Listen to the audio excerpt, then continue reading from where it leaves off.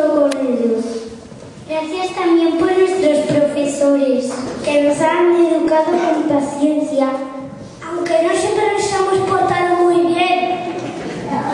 Jesús gracias por este colegio. Tiene mejor campo mundo. Gracias papá y mamá por traernos aquí a aprender el arte de